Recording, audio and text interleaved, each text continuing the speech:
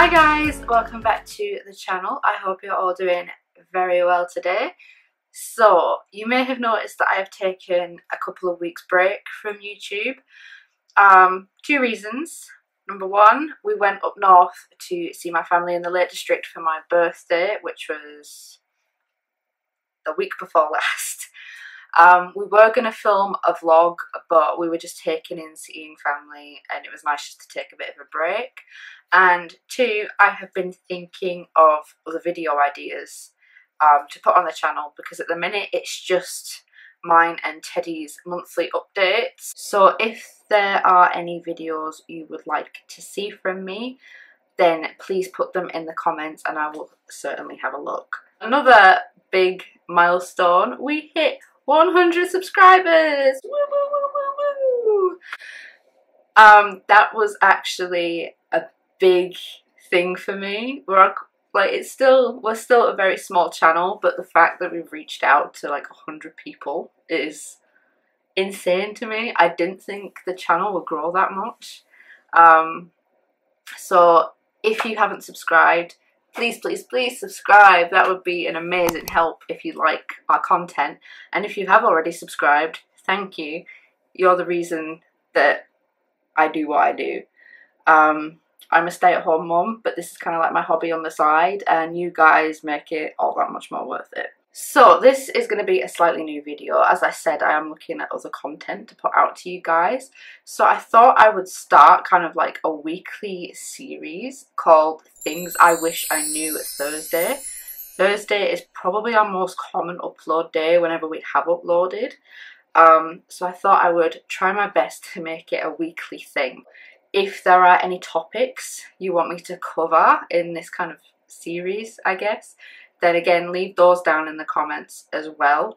Um, and I'll see if I can cover them. There may be certain topics I can't cover. That could be due to personal choice, or it could be that we haven't experienced anything like that. So, for example, if someone said, Oh, can you talk about things that you wish you knew before buying a house? Um, we haven't bought a house, we've never bought a house, and we probably won't be for the foreseeable future just yet. So I won't be able to cover topics like that. So today I am going to be talking about things I wish I knew about labour and delivery. It's been a long time since I've talked about labour and delivery. I gave birth almost a year ago. I don't want to think about that. So there are certain things that I don't really remember, but there's definitely a lot that is ingrained in my mind and will be for a long time. So I have 10 reasons written down on my phone here.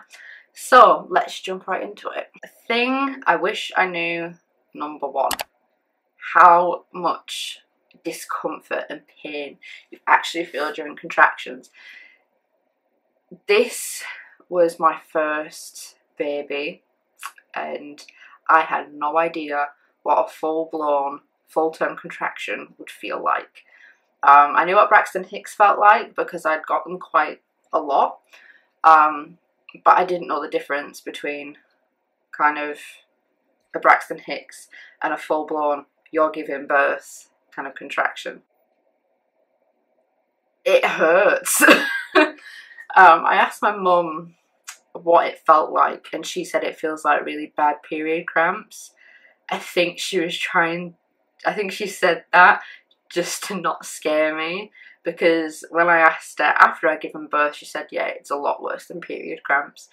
Um, there is waves of pain, but when you're in full-blown established labour, you feel like you can't get a break and it's just constant pain and you, you just feel like your stomach's constantly tight. Some women go through labour and they just feel discomfort, they don't really feel any pain whereas there's other women who feel moderate pain and there's other women again who feel a lot of pain like myself. I do not have very high pain tolerance. I cannot handle pain. So these contractions were a big deal for me. Number two is the transition phase. Um let me just look it up here. Because I can't remember when the transition phase starts. Here we go.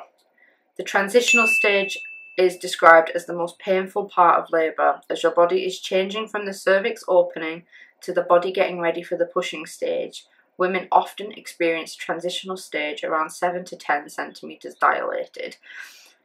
I think I remember going through the transition phase between 6 and 7 centimetres because I was really, really losing control at that point.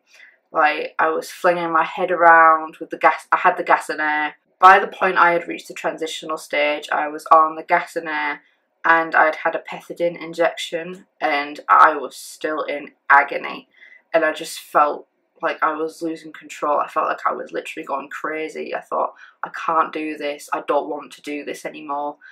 You know, get this baby out. And I think if you speak to a woman who has had a pretty long labour, I think the transition phase is the worst because you're just tired at that point and you just think, I want this baby out. But I didn't think how bad it would actually be. I didn't think I would have Tom on one side and the midwife on the other, both telling me, like, look, you need to get back in control of this situation. Because at that point, Theodore's heart rate was dropping when I was having every contraction. So me being stressed was putting more stress on him. Um, so you really do have to kind of work through that. It seems like it's never going to end at that point, but I promise you it will. Number three is how much blood you can actually lose um, during delivery. I think I lost about 420 millilitres of blood. Um, I think it was around that. It's in my hospital notes, but they're in Tom's studio and I can't be bothered to go and get them. I lost just under half a litre of blood. I know 420 mils doesn't sound like a lot, but when you see it on the pad things that they put underneath you while you're giving birth is it looks like a lot of blood. Um, and then obviously you have the subsequent blood loss for the few weeks after. I didn't realise that lasted for as long as it did. I thought it was maybe a couple of weeks and then that was it. I think my bleeding lasted for about six weeks. This is going to be a very TMI point, but you are going to pass like masses and you're going to pass bloody matter and things like that. It's all normal. It's just your body ejecting everything out as part of giving birth, and that might not happen until a few days after, but it's all normal and you don't need to panic. Number four, even with an epidural, the ring of fire or crowning, as it's more commonly known, is still very uncomfortable. um, that's the part of pushing that I was terrified about. I thought it's going to absolutely kill me. um, but looking back, it wasn't as bad as I thought it was going to be, but it was still very, very uncomfortable because even though you're numb from the waist down, you can still feel a lot of pressure and you can feel yourself stretch. So that was very uncomfortable to say the least. So it was when the head crowned and the shoulders that was the worst part for me. But I knew that after the shoulders came out, I only needed to do one or two more pushes and then he would have been out. So that was kind of my motivation to work through that pain. Number five. Now, I thought that people were joking when they said this to me, people who I know who have had babies. How how the pain just instantly stops once you've had your baby. As soon as your baby comes out, that's it. It's no more pain. Like no more labour pain anyways. and obviously once your baby's born, you release all these endorphins, all these happy hormones. And everything just kind of stops and time kind of stands still while you look at your baby. And that just makes all the pain go away. And that is true. Everything just stops. And the pain stops, time stops, everything stops. Um, and it is an amazing feeling. Number six, midwives can intervene. And midwives are there to give you their personal opinion because you are in their care and they are there to give you the best care possible. So it was actually my midwife working with Tom, they were kind of communicating with one another because Tom was my advocate at that point. I was in so much pain, I couldn't speak. I felt like I couldn't breathe. Um, so I remember being on the gas and air, having my eyes shut, but the midwife saying to Tom, like, look, I think she needs an epidural now. I think it's getting to the point where she's losing too much control and she needs to calm down. But at that point, I couldn't calm down because I was in so much pain. So the midwife actually intervened with her advice and actually recommended an epidural. They usually don't recommend epidurals because it can slow down the labour process, but by that point I was in so much pain. The, mid- the midwife said, right, we are going to get you an epidural now. Now, I was just like, okay, do whatever you want as long as it makes the pain go away. So yeah, our midwife was absolutely amazing. She saw what would be best for me and she was absolutely amazing. And Tom was as well because, again, he was my voice when I didn't have one. If you have your birthing partner coming with you into that delivery room, make sure, talk it down with them and say, I need you to be my advocate and my voice because I might be in too much pain to talk. And Tom did that with our midwife, and I'm so, so glad he did. Seven, linking into the last point, I did not realise how long winded the epidural process is while you're in labour. Um, I had had spinal anaesthetic before for my cervical cerclage procedure. If you want to watch that, I'll put that in the iCard. Um, and that took maybe about five ten minutes. Um, they had to do it twice because of a complication with the first kind of round, but the second time round, the, the anaesthetist got it in fine. Um, but this time, they can't give you the epidural while you're having a contraction because I would you have to like kind of hunch your back forwards, so it's kind of curved like that. But every time I was having a contraction, I was arching my back like this because the only kind of relief I got was when I arched my back and kind of lifted my bum up off the surface of the bed. Um, so I was kind of like hovering, and obviously they can't do that. They can't administer an epidural like that. So they had to wait between every single contraction before they could do the next part of the procedure. So I think all in all, to me it felt like an eternity because I was in so much pain from the contractions and now I was having a needle shoved into my back. Like so I had Tom holding one leg and the midwife holding the other leg, trying to like keep me calm, talk me through it, you know, because I was a mess at that point. I just needed the pain to stop. So be prepared for it to be quite long winded. If you're having very painful contractions and you feel like you're losing a bit of control, just, you know, have someone with you that will calm you down, but be prepared for it to take a bit longer than it normally would. Eight, I had no idea that you would get contractions after you've had your baby, especially if you are breastfeeding. Um, we breastfed for five days, and in those five days, the afterbirth contractions that I had were insane.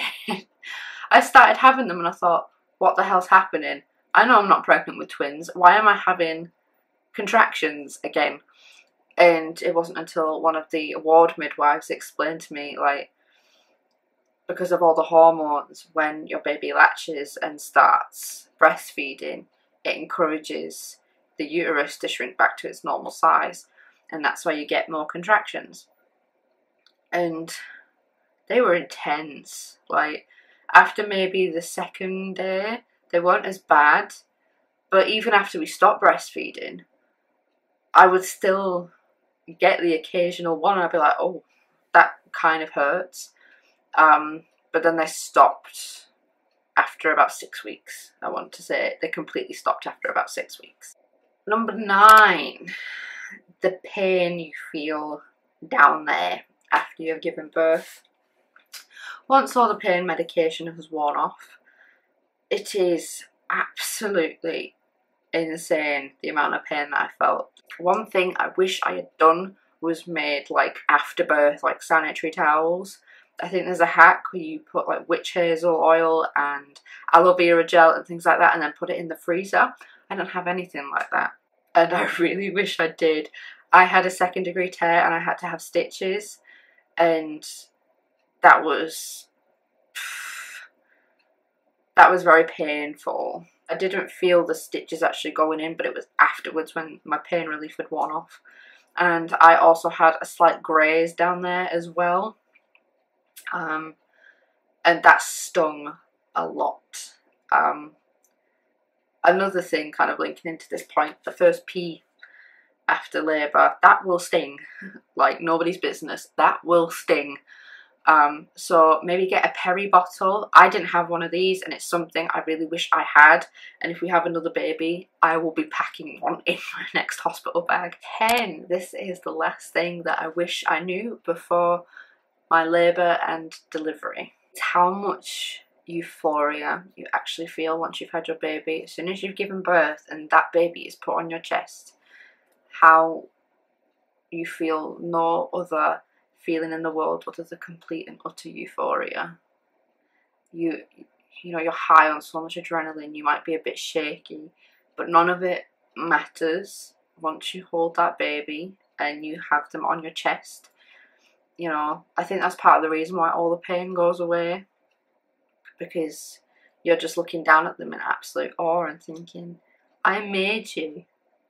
You know, I've grown you in my body for nine months. I've nourished you. I've made you safe. And now you're here. I have to do that all again. but I have to do it from me, not from the placenta or the umbilical cord. I have to do it from me. That is the most fulfilling part about it. And, you know, over 10 months later, it's hard being a parent, but you wouldn't change any of it.